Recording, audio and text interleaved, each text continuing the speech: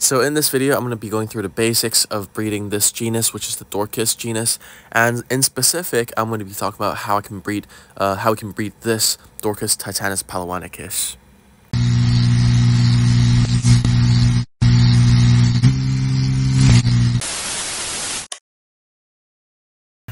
So the overall result of the breeding really comes down to the size of your male and your female.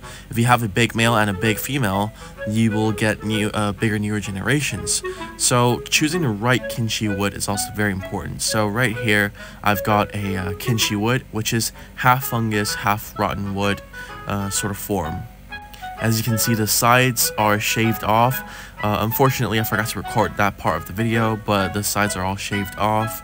And you can see that it is half fungus, half rotten wood. Here are the shavings. It's not a lot of shavings. I've only shaved off some parts of the wood. You don't necessarily need to shave it, but it's just something I like to do. I don't want unnecessary parts on my wood.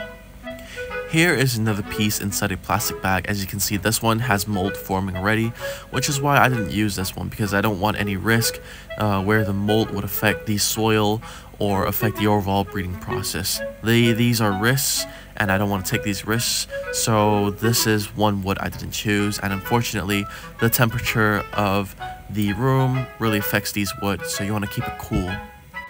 This wood right here, it's got no mold on it. It's completely fine. The fungus are growing perfectly fine. These are great. Next step, after we placed a piece of log on top of a thin layer of soil, we want to put more soil on top. And let me just clarify, these are actually not soil, these are actually wood flakes. And then specifically, they are actually fermented wood flakes, but I just call them soil because it's just easier and, you know, it's a shorter form of saying uh, what these wood flakes are. Now you want to put a little bit on first and then you want to shake it through.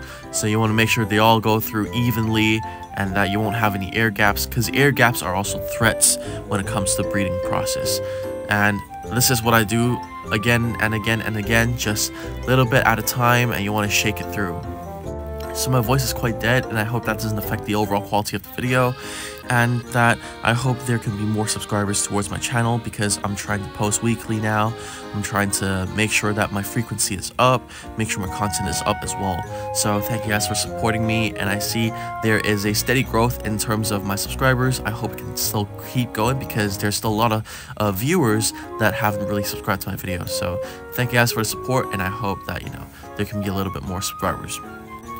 But back to the main topic, now that we're around 60-70% full, we want to break up some parts of the wood flakes. We want to make sure there's no clumps in it. So here's what I get. I get a tweezer and I start poking them. I start breaking the clumps up so that, you know, things could be more evenly spread out and uh, use the tweezer to make sure you move the wood flakes around so that it doesn't, it doesn't pile up in one corner. You want to make sure this is as even as possible.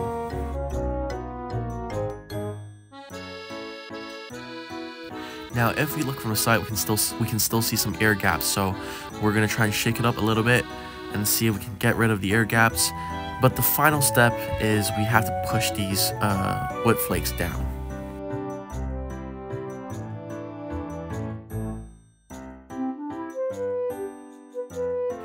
Now to pressure them down, just get anything that's flat. Right here I've got a clip and uh, just use a small tool which can push them down. You can use your fingers, you can use anything, just make sure it comes down flat. Uh, this is the tool I found in my room, which is just a clip, and it turned it turned out to be all right. It was fine. It wasn't great, but it was something I I could use. So you want to really put some pressure on it. Don't be afraid of pushing too hard. Uh, it'll be fine because these beetles, they're very used to digging in very hard surfaces. They are very professionals at digging into hard wood. And in terms of the rotten wood we're choosing, the level of softness, you don't want to choose wood that's too soft. You need to choose one that is medium to hard. You don't want one that is way too soft because otherwise there's not enough pressure for them to dig into and they won't realize there's a piece of log there and then out comes two jellies. You want to put two jellies because you want to make sure there's enough food for the female when she crawls around. You don't want her to, you know, lose all that energy. You, you want to make sure that she can replenish her energy at all times. Uh, I would personally put two and not four because I think four is an overdue uh, two would be enough. And if it's, you know, if it's half empty or something, just change it whenever.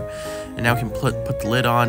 Uh, I've got this decorated lid, but as you can see, this lid is a specialized uh, enclosure.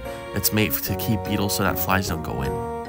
I also like to put masking tape and also write the date down so I know when I started making this uh, breeding enclosure. And that's it. That's done. Thank you guys for watching. Please subscribe if you haven't. Thanks.